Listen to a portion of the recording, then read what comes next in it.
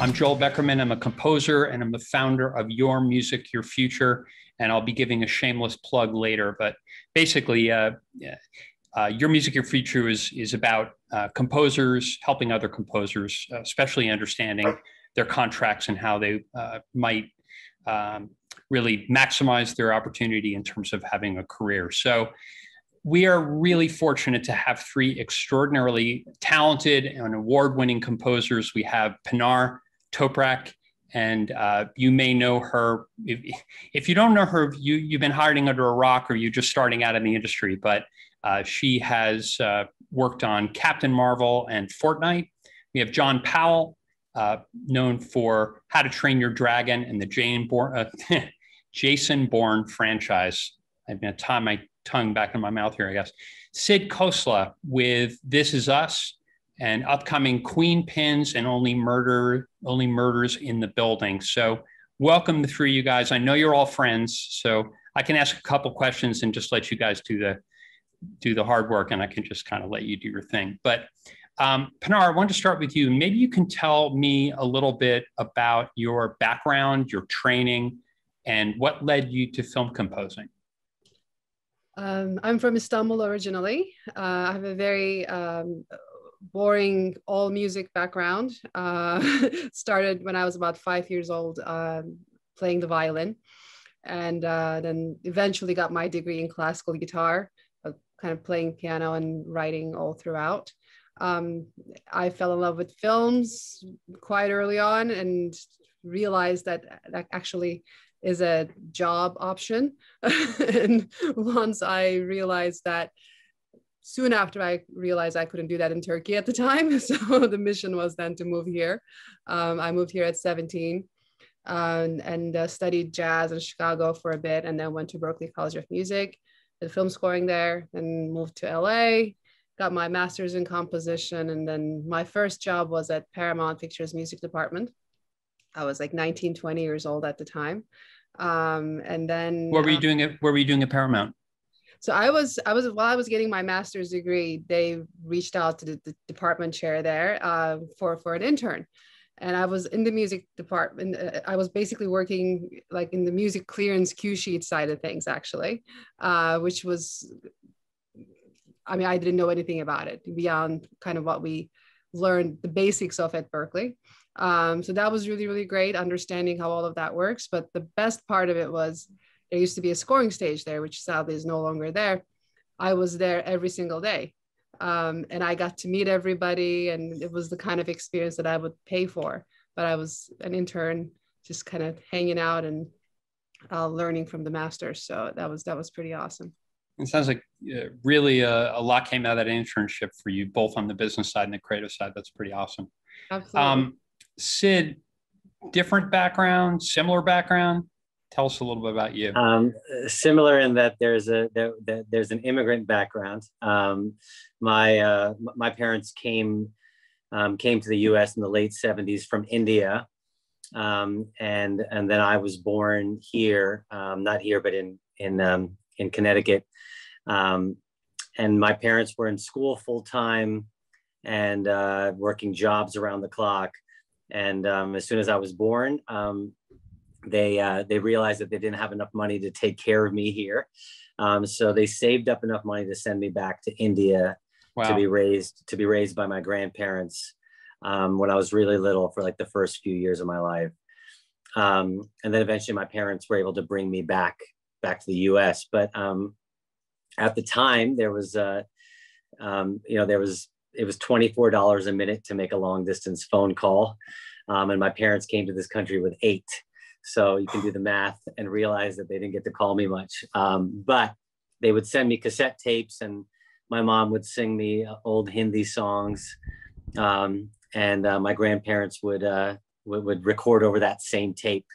Um, um, and where I would say something unintelligible back to my parents um, so they could hear my voice. Um, but that was my first experience in recorded music on those cassette tapes. And I grew up with a lot of Indian music as a kid. Just uh, I grew up um, when I came to the U.S. I was that kid that would um, sing at temple. We would have these uh, Sundays in temple, and um, I would be the six or seven year old kid um, singing in front of 200 Indian people, um, nervous every single Sunday morning, um, but would sing all these old Hindi songs. And that's sort of like how I learned music and how to sing and listen to all the different inflections in, in, um, in, in the Indian singing. Um, and then eventually I, my, my sort of path to music, uh, to scoring was different than Pinar's. and I would imagine John's as well from what I know, know of him. But I, I was in a band and um, I was in multiple bands as a singer songwriter of a band called Goldspot, and um, and then that I was a, I was an artist then on Universal, um, signed to um, a deal there, um, and my albums came out in the UK and here and worldwide, and um, and and and did not do very well, but they had they had like it was all in sort of like this time of streaming when um, when my albums came out. It's like 2005, 2006. It was like right at the peak of like streaming hitting.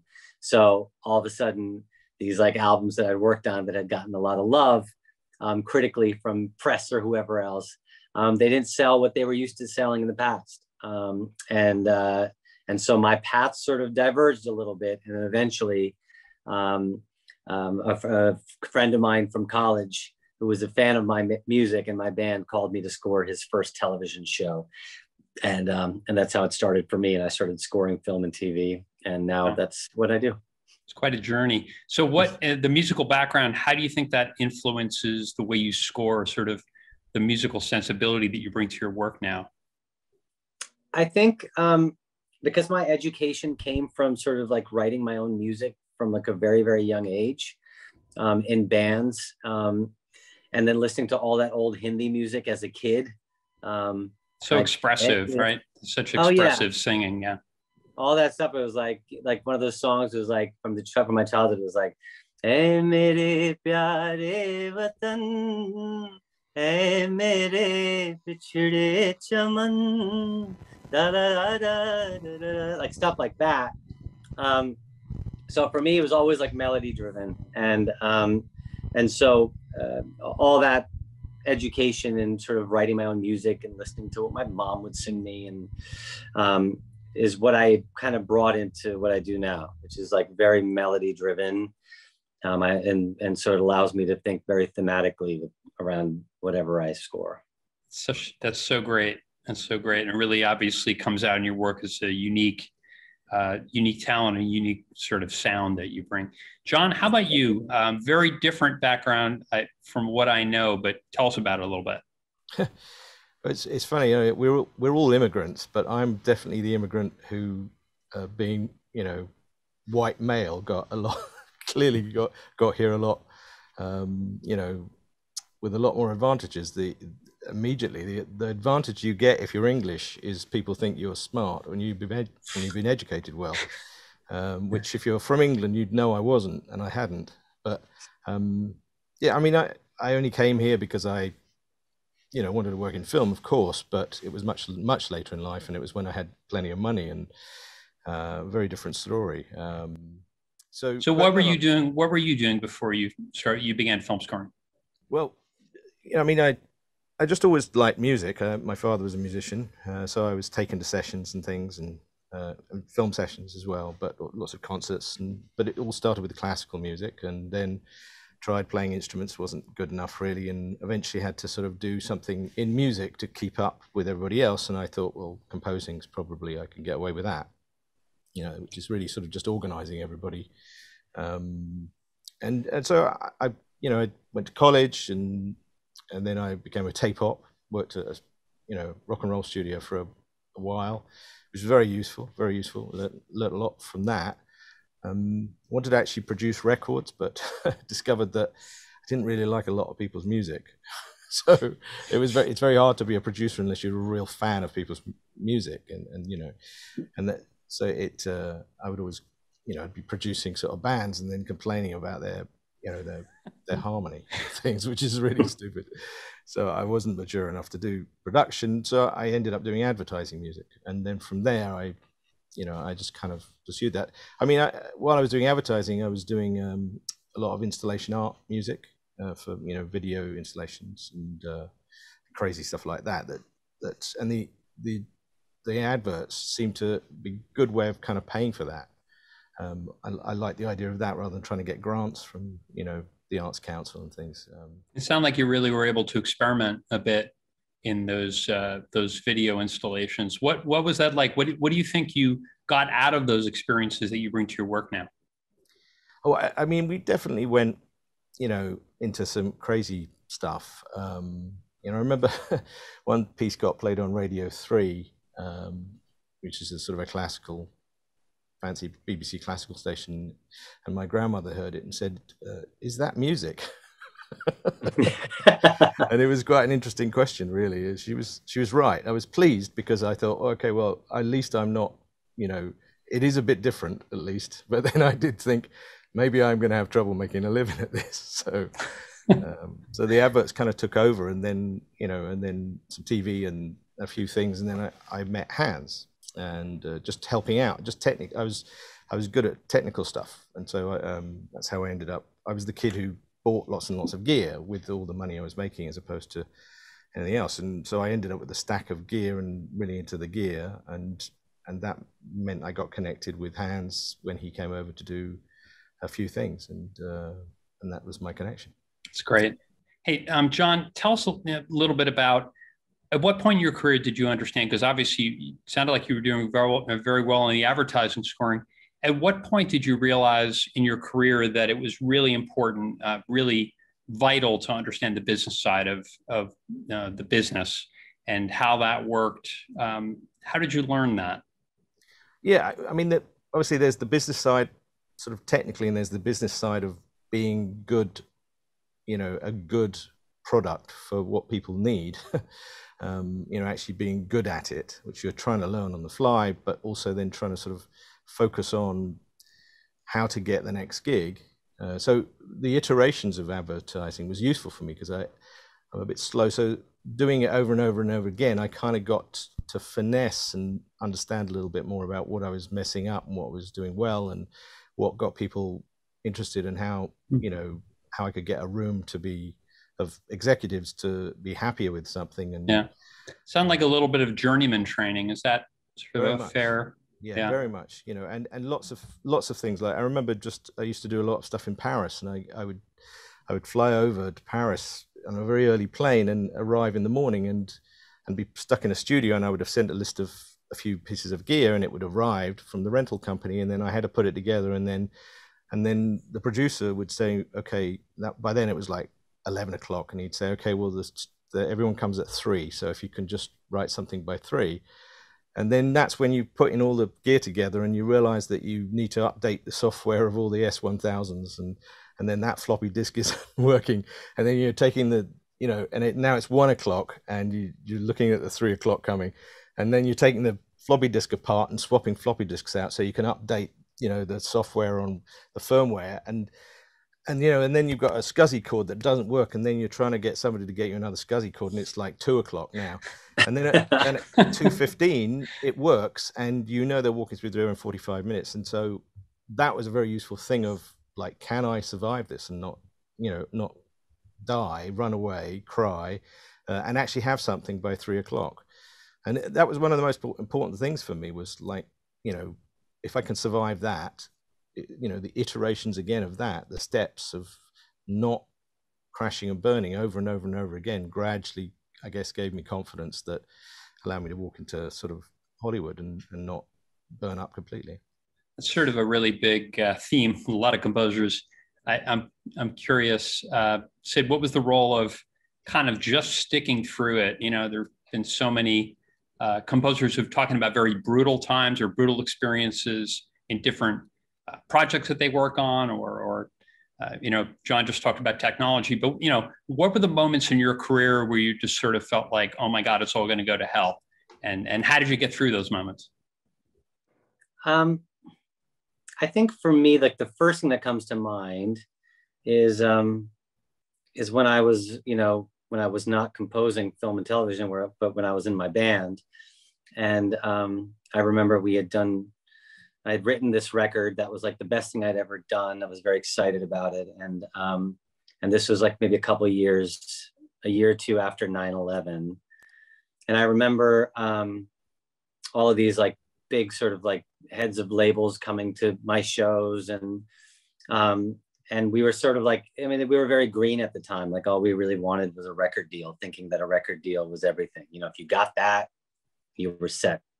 Um, and um, and at the time i had a job at at&t wireless in los angeles um, where i was trying to convince um, towns to put up um, what's called monopalms which are the fake palm trees that have the um, the, the built-in antennas to maximize cellular coverage. Um, so um, that was my day job. And, and, and I was so excited about getting this deal. I knew people were interested in the band. And I remember the head of one of like the pretty big labels um, had come back to my team, my manager at the time, and had said, you know what, um, we love his music. we, we think the band is great live, but we are not ready to sign um, a brown lead singer, um, especially with everything that's been going on recently. And I remember that being sort of a very difficult thing to sort of like swallow. But you know, I was a I'm a child of immigrants, and so I I, I have experienced some of this stuff as a kid too, on some level. You know, um, and and and I think my father had always instilled in me this sort of idea of in Hindi we call it tapasya, which is like if you do something, you do it with all your heart and your love, and that will be ultimately the thing that sustains you through. Um, and so I think that sort of like thinking has always kept me alive. Is as long as I love to do what I do, that pa- that love and passion for what I do should always be will always be greater than the challenges that come my way. And so if I can approach my career that way, then I can get through these types of hurdles. Um, ultimately, we got ultimately got signed to Universal as an artist. Um, and, and, then the label dropped me a year later, but that's a different story. Um, but um, so there's, you know, and then obviously in composing, um, there have been challenges. Like I, I didn't go to school for this, you know, and so I didn't have the same sort of education going into it. All I had to sort of like work off um, in terms of like my history of orchestrating and arranging for groups of people were like my a cappella group in college when I'd, I'd, I'd have to arrange for 20 voice parts. Um, and um, and then when I had recorded the uh, A.R. Rahman's Bollywood his his orchestra in Chennai, India, for one of my albums, that was my experience with orchestra, orchestral work and arranging for people and people other than myself. Because normally I just play on This Is Us, I play the entire score here, um, from down to the drums on on this table to whatever I'm making. So um, I think uh, you know for me that was always the sort of um, the, the the challenge when I started doing this was like how am I going to squirt to picture when I really haven't done this. All I'd done was a couple of like Google ads or something or Target. I'd done some commercials. Um, but the people I worked with felt like I had um, they liked my melodies enough and they felt like I had an emotional connection musically. And they're like, that's your starting point. And then that sort of gave me the confidence to figure it out. It's really great. Pinar, talk about your experiences in terms of, I mean, uh, whether an immigrant or, or other factors, uh, have you felt that you've had to sort of break through expectations as well? What's your experience been? I mean, I think all of us, regardless of where we have come from, you make a career by breaking expectations. you know, um, for me, I think the elephant in the room was, um, well, there are two elephants. They're 13 and 15 years old right now. um, there, I have a story with my younger son. I was pregnant, um, and he decided to come early, and I had a scoring session, uh, and this was like oh, no. a so and you couldn't cancel within four days you know so you're responsible for it he the first day of the session was a sunday he had the audacity to be born friday evening um so that was stressful and i remember as soon as my water broke uh, I actually I called my team instead of like calling everybody else because my brain was like, oh how am I gonna get to this session? Um, but the fu- the funny story was I had to lie at the hospital to be discharged on Saturday so that I could actually get to the scoring session Sunday morning. So I had a 30 hour old baby. Uh, so that was kind of crazy because nobody knew I was pregnant. Both both my pregnancies were were were secret. should we say? I've I've heard a lot of stories, but that that pops, wins. yeah, that absolutely wins. Uh, that absolutely wins the challenge uh, story of, of, of, the the biggest one I've ever heard. So that's amazing. Thanks for sharing that. Um, uh, Pinar, just to stick with you for a second and radically change the topic. It sounds like you you were working for a studio and you learned about cue sheets.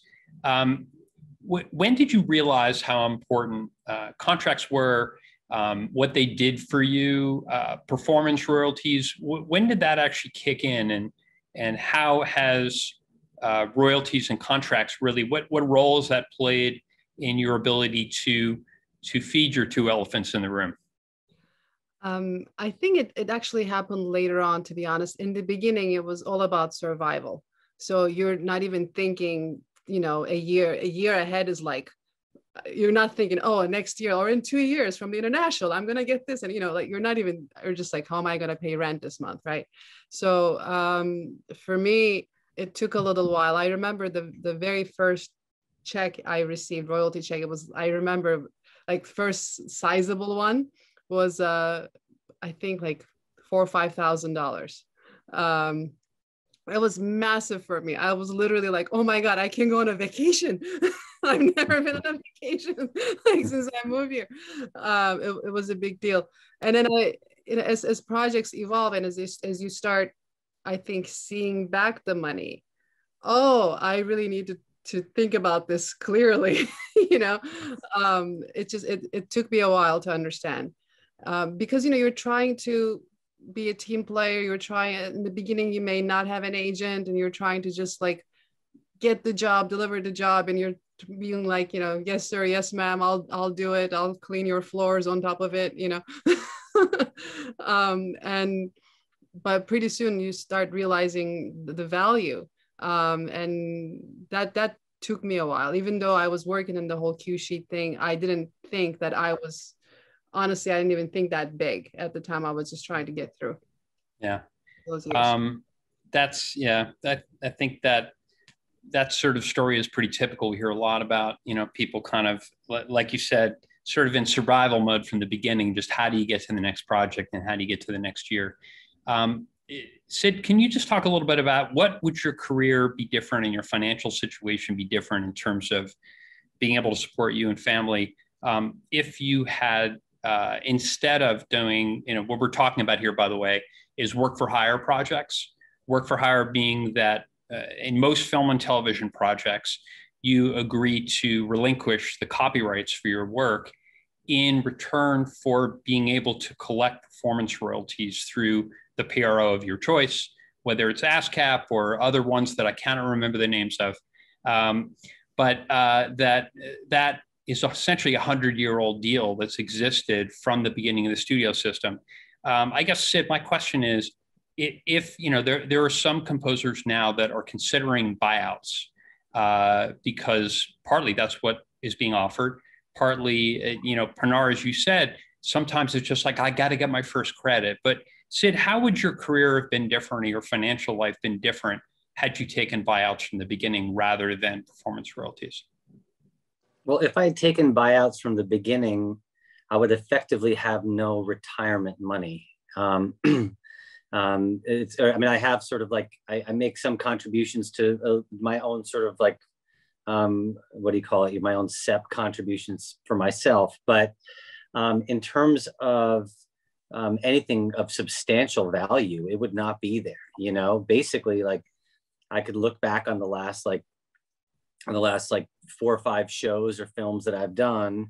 Um, and most of my income comes from like my TV work. I've done a lot more television than film. I'm not as um, I'm not as prolific in the film world as Pinar and John, um, but uh, most of my um, work has come from TV. And um, the royalties are substantial in television, especially if you have something that is a hit. You know, I, I remember, and this, and, and this is how I look at it is like the very first, we talk about our first sort of like royalty checks we got. Um, I had, uh, when I first started my band, one of my songs was placed in some like in some Jason Priestley movie that went straight to video. Um, but I got my first um, my first royalty check and it was like something like 32 cents. And I remember laughing and thinking that this was a joke.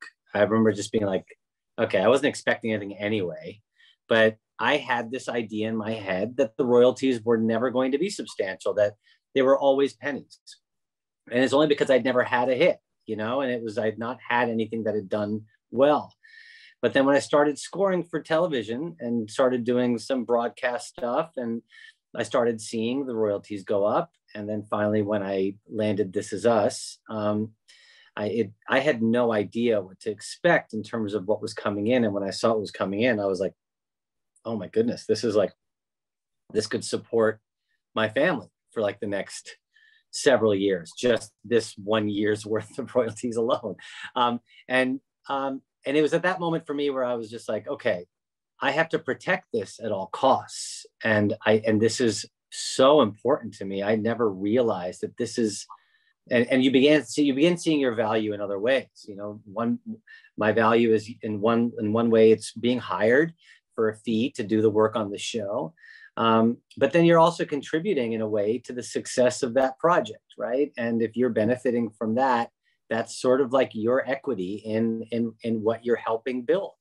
Um, the scores that John and Pinar have done are, are beautiful. The, their work is stunning, and it contributes to the larger picture of what people and audiences are experiencing, um, all the way down to what advertisers are paying to be part of those um, shows, um, to to air ads or whatever else. So, you know, this is our equity um, in what we do, and um, and and and and we can't be living our lives in sort of sweat equity, working for very little. Um, so needs to be protected at all costs. Yeah. That's great, John. Can I just ask you? Uh, you know, um, Sid had mentioned value brought to projects. You talked about respect uh, to the work. So there's a financial component, but can you talk a little bit about, uh, you know, how does it um, play out in your relationships with directors or studios, um, uh, the the nature of performance royalties and what it what it says about the value of your work. Honestly, I directors and producers, I've, as far as I know, they've never really talked about the royalty side of it, other than I, a few directors uh, have said to me, "You guys are lucky." Talking about composers, you know, um, you know, talking about royalties. a lot of directors in animation don't have very good deals either. It's a it's a difficult it's a difficult side of the business for directors to sort of really kind of make it. You know, they make a lot of money for the studio sometimes, but they don't necessarily because they're on films for such a long time. I guess they're getting paid pretty well for that, but they don't really get an awful lot of back end. And we actually sometimes get very good back end, and I think it it you know that's the only thing that directors have ever said about that. I mean, the, the thing you have to remember about a director is he wants you know she wants the best person that they can get and how and for the amount of money that they've been given in their budget they want simply the best and even if they don't have that for the budget i was always aware working you know part of hans's thing was that you get gigs sometimes and and you're working and playing things and there's always that look in everybody's eye which is I really wish I could have got Hans. Why, why have I got this kid? Why have I got this guy? You know, and so this idea of being cut price, a cut price version of really who everybody wants, you know, came home to roost with me. And it's a very useful sort of thing to keep in the back of your mind, which is, you know, they just want the most expensive, best person that they can get. And if they can't get that person, you're on a list. And depending on how far down the list they've had to go to, and then ended up with you, there's always questions in their brain as to is this as good as it can be? And so I've always tried to sort of, you know, take that on as a, a, a challenge. um, you know, and, and that obviously I'm now in a slightly different position where, you know, I think people, you know, have a slightly different view of me. Um, but there's still always that, you know, well, what would I get if I'd got John Williams? Was you know, would that, would that have been better? You know, because he can write better tunes. You know, so in the back of everybody's mind is is you know there is a respect for us, but everybody wants somebody better, I think, and and it's a really good. It's not a bad idea to consider yourself to be less than, so you can at least sort of, you know, enjoy a struggle towards being better for the for the project. So uh, I guess my question, John, is um, based on that. You, you know, you were you were working, you had work to do. Uh, you know, maybe you were considered second best or third best at a certain point, but there was a point at which you broke through, and people began to recognize, and you began to flex your own your own uh, creative voice. So can you tell us a little bit about that? What was that transition point? Uh, when did you realize that people were hiring you for your own composing voice? Um, I think it was Bourne. Uh, Doug Liman basically uh, got. I got a call, which is, uh, you know, there's this director. He's already had a composer, and the two of them just sat in a room and didn't talk to each other. They they're both a little bit kind of on the spectrum, and so they, you know, they basically said we need somebody who who will find a way of engaging, I think. And that's perhaps something that I'd got a good reputation even at that point is. And and then and because it was Doug just didn't know who I was, and but he'd heard, you know, he'd heard some things, and I and then I sent some demos, and he just liked them. So I came with no baggage at all for, for him, um, and I I think it was a point at which I really jumped on the. I thought, right, I'm going to just try and do everything differently, and I got a sense from him that whatever everybody else was doing for action films at the time, I should try and do the opposite. Um, so it was a it was a opposite day kind of score. Really, it was like you know, and I'd learned all of the Hans, the Zimmer kind of things, which I do love, and I, you know, it was a wonderful kind of style of action music at the time where everything's big and reverby. So I just did everything opposite. So smaller section, you know, everything was small, everything was dry, everything was you know, I was fascinated by uh, a mixer called Spike Stent, who, who, mixed all the massive attack stuff and reading about him and he never used any reverb. It was all just delays and filters on the delays and things and I right i'm just going to do everything with that. And you know and so i went down that rabbit hole a bit because i felt that doug was going to not care. He was going to be kind of i need some of that zimmer magic sort of thing. He, he had no no idea what that was. He didn't care.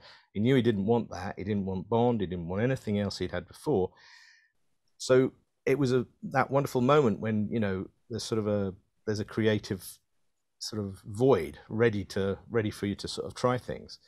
And it's it's it's you know going to the dub was hell because uh, even the dubbing engineers were like why is this not working? Because it's you know it doesn't sound right and it's different and it's doing things that aren't right and different. And you know and fortunately there were fantastic dubbing engineers and we all kind of locked down you know, for about three weeks. And I even went and started editing Pro Tools as well because I realized things weren't working. And we just moved things around and they tried stuff. And it was a real sort of team effort to like, okay, this is all weird. It doesn't really work the way we sh- it should work. And they figured it out. I figured out a few more things, and it was it was great. And I think at the end of that, I was quite convinced I'd never get work again because I wasn't sure it was working and then I got a few calls from people, you know, saying, "Just saw that. That's really interesting and very different." To quite a, what seemed to be quite a risk at the time, and and now it just seems like a calling card, doesn't it? Well, it's a cliche now. it's, it's, embarrassing. It's an embarrassing cliche. well, only because people copied you. That's why. Well, yeah, yeah, but you know, um, it's it's very easy to do. It's one of those things that, that I think part of it was, I you know, I'd always loved minimalist music, so I had it had a lot more to do with Steve Reich and Philip Glass at the time than you know than than Hans really. Um, and Would you date it back to the video installations you're talking about? Is there yes, certain a bit of? There's yeah. definitely some weird stuff. I, I, mean, you could probably look back at my jingles from you know 1991, and you could probably hear me trying to do things that I didn't, I wasn't doing very well, and did extremely unsuccessfully until I figured it out on Bourne finally. Yeah. yeah. When uh, when did you realize, um, John? Why contracts were important, uh, and and when did you begin to sort of understand the nuts and bolts of what contracts were and that why they're uh, why they're important? Was that prior to getting an agent? Did an agent help you understand that? Where where did that begin? Your your understanding of why that was important. Well, I was I was lucky. I was with a kind of a I went and did advertising with a, a company called Air-Edel in London, and Maggie Rodford, um, who's sort of an agent. Um, she's an agent for some people, but at the time she basically had a bunch of composers, and she was very open about all of it. It was very transparent. Um, even though you're one of 14 composers, you know everybody got paid the same, based on sort of you know a system of what it was for, how many territories it was going to, and things. And I just started to really understand the sort of the the inner workings of of what you know the first checks from PRS, and and really.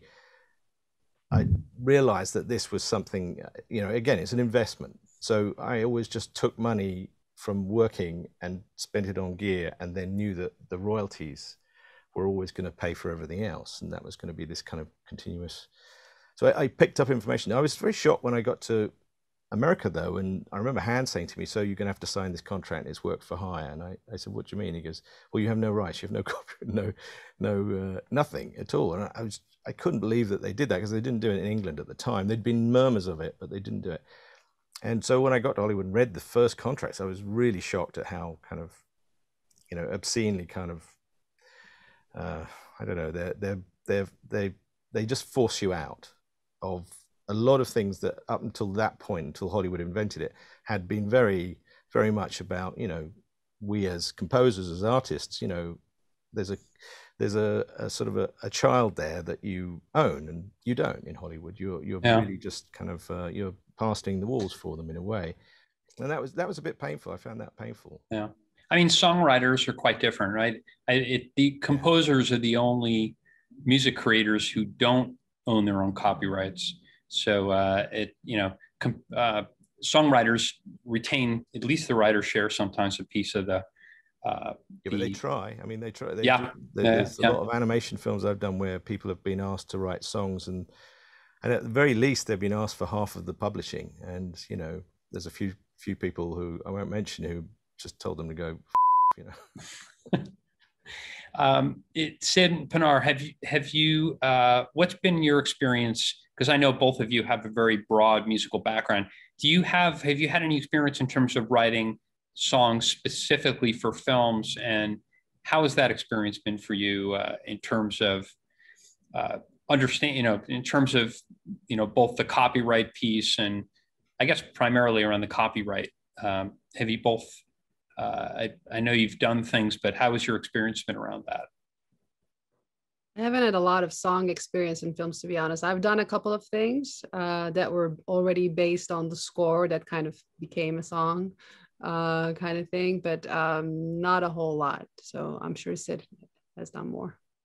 Yeah, for me, I mean, I've I've, I've written a bunch of ori- original songs for television and film, um, and you know they kind of sometimes oftentimes they're functioning many in many ways like my score is. They're they're following sort of the same sort of deals.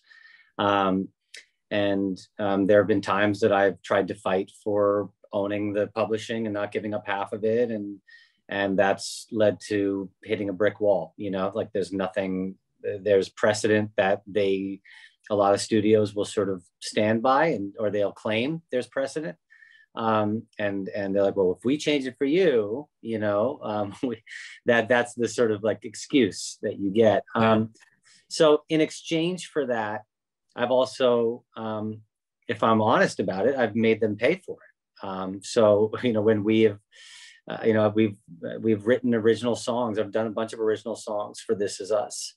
Um, we've had and and and two of the songs that I wrote um, ended up in the top five in in the U.S. charts, like in the pop charts, like not soundtrack charts, in the pop charts, like for you know four or five weeks straight in in a couple couple moments. In these, the show that big, that many people watching, the song had impact. Um, so I began to learn, and sort of like when we were negotiating our deals for future seasons, just making sure that I was paid more than enough that I needed to be paid to actually compose the song in the first place. I would still get my writer's share, obviously, from my royalties. That, of course, that would never go away. But um, you know, the the idea being that if you're going to take you know half of my publishing or you're going to take my publish or so you're going to take my publishing um, effectively on some of these pieces, then um, which is the case for most people writing original songs for television and film. It's not like it's not like that, you know, Netflix deal where they're like, we're going to fully buy you out of all your of all your back end.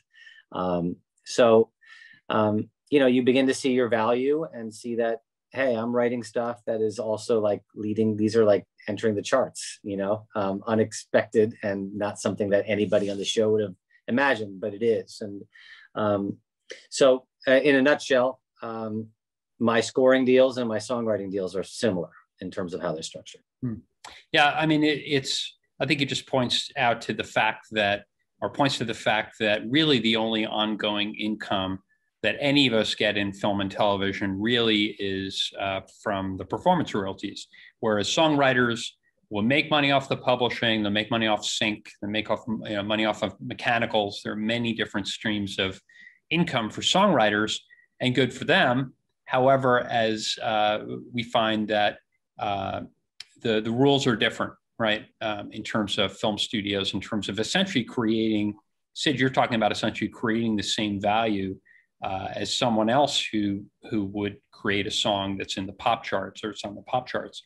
Mm-hmm. So it, it, it is a real challenge. Um, you know, in some ways we can understand why the studios might want to uh, be able to own those rights so that they can move things around and put things in different places very quickly without having to come back and renegotiate. However, there is a, a price for us as composers. Um, so, you know, Sid, you talked about buyouts. And that is a really sore topic right now in the industry mm-hmm. because without uh, performance royalties, if we do total buyouts, essentially the money we get up front, that's all there is. And that's all there is forever uh, from that project. Um, you had talked about working on a, you know, your first hit show. I guess I'm, I'm wondering what your uh, advice would be to young composers who are just getting started out. Um, recognizing your experience of the difference between a hit show and not a hit show?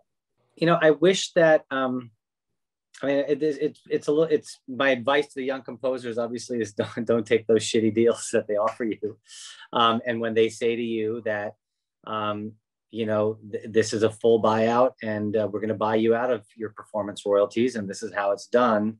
Um, we you can they can know confidently that that is not how it's done, um, and um, and and and and I know specifically with some studios, um, and and and you know that when you go back to them, and you say, well, um, I, I'm not, you know, if they make the argument that you know this is how it's done, I, I mean they're not allowed to do that, from my understanding either. So um, so one thing is educating young composers on on that piece of it. Um, second thing is honestly flatly like frankly just telling them how much money they can make if they don't do it. I mean, I think if I knew, I didn't, fortunately, I didn't make any sort of I, I, bad decisions. I was always educated about royalties. I always knew what I was getting into. I had good people representing me.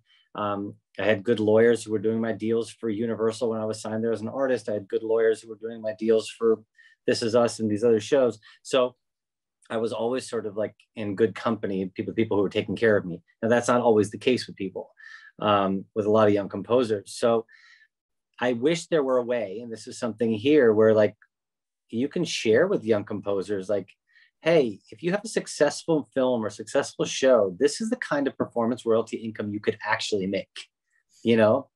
Um, and I would be happy to tell them how much money I've made doing it. So they would never ever think twice yeah. about sort of signing it away. I have no problem. I have no so, shame in that. Yeah. Well, your your phone is going to ring off the hook. Um, so uh, I don't even know if you say that anymore. There's no hooks. But um, you know what? Uh, so this is a perfect transition to a shameless plug for your music, your future. Uh, if you look on the website, and and hopefully you also sign up as a supporter, uh, not profit organization, uh, by composers for composers. You look at the website, and there are some uh, tremendously talented composers, including folks on this panel here, who uh, essentially support the education of composers to understand what the real 100 year deal is. As Sid, you were saying, a lot of people don't know. And also, there are pie charts which show what hit shows or even modest hit shows might earn for composers. Uh, you know, as you were as you've all talked about in terms of participating in the revenue in the success of hit shows and films that you create. So I think it's a really really good point for for everyone to really educate themselves. So your music, your future is certain one uh, one way. Um, talking to Sid and other composers uh, who and listen, I always feel there are composers. Uh, and by the way, I'm stealing this from Dan Foliart, who used to be the uh, head of the Society of Composers and Lyricists and now is on the ASCAP board. But what he's always said is that there's two kinds of composers. There are composers who have the community gene, and there are composers who don't. Uh, and I think you'll find that there are more and more composers that do. Uh, you can find out from your friends how to address things. There are a lot of resources you have. You can call the membership uh, departments of the PROs that you uh, belong to. You can talk to uh, organizations like Volunteer Lawyers for the Arts, where there are attorneys which will, you know, who will donate services to uh, composers who are first working on their contracts, or at least be able to give them some advice. So I think Sid, your your idea of education, uh, and, and I, I think composers understanding that there are many sources of information that that it, that are at their disposal uh, even though they think they may be all alone, they're, they're really not. Um, you know, Pinar, just to, to go back to you, uh, what are your thoughts about, you know, thinking about your beginning and, and sort of understanding what you understand now? I guess my first question is, uh, what role has your, you know, look, as people start out, they don't have agents.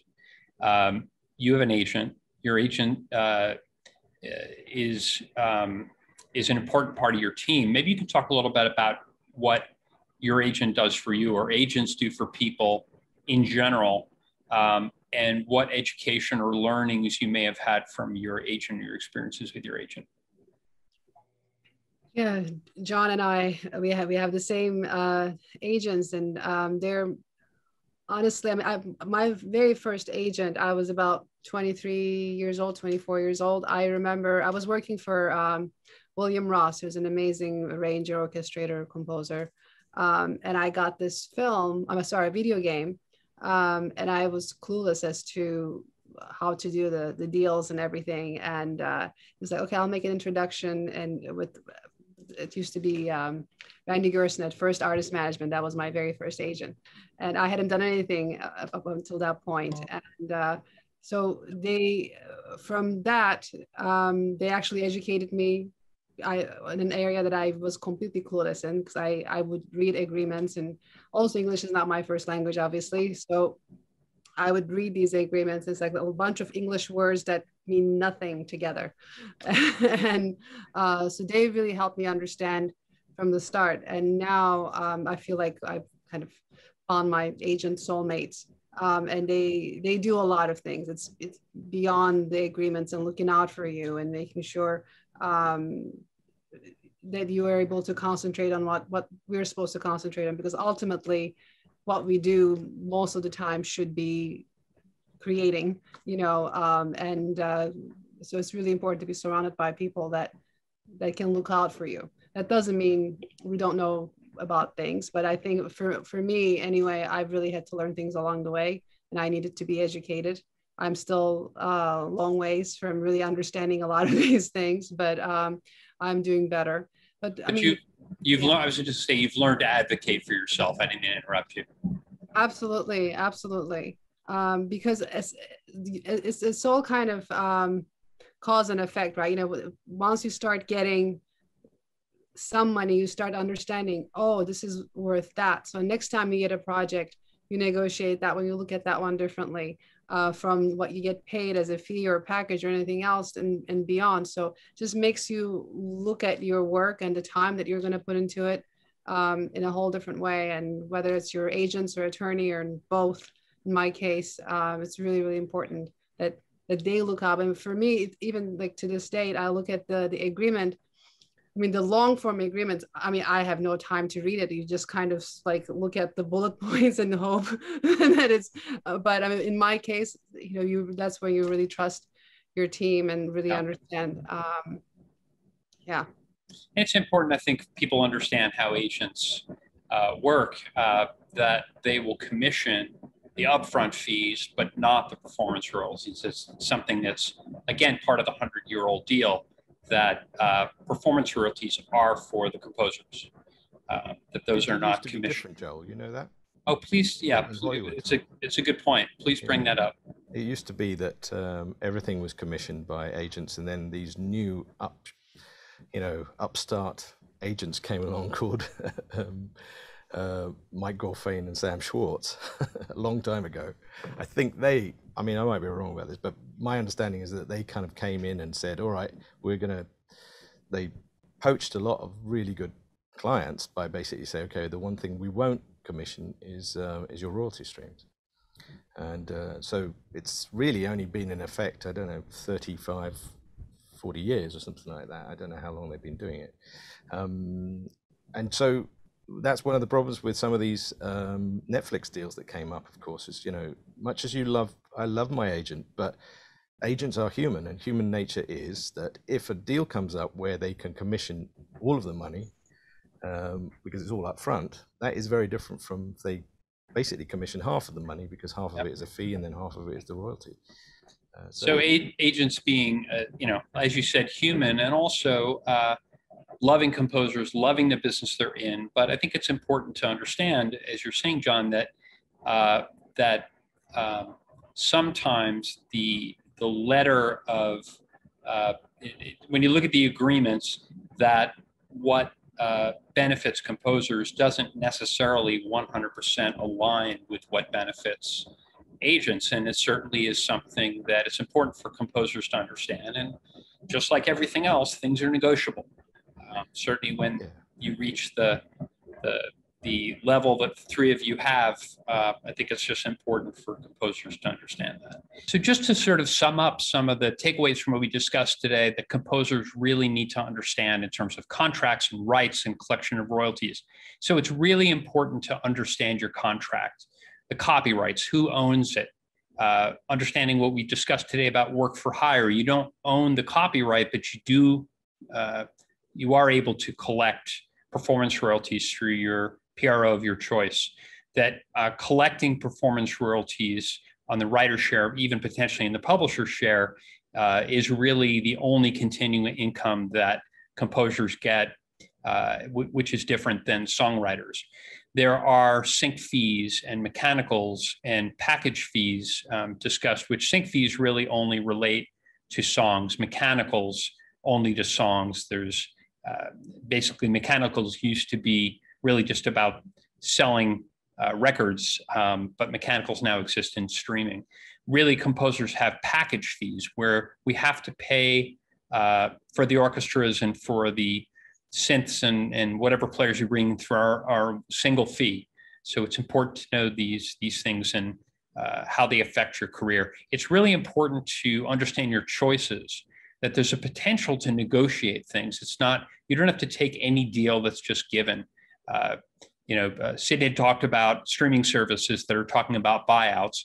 Uh, it, it, those are negotiable. You can always push back. That's not the way things are typically done and have been done for the last hundred years.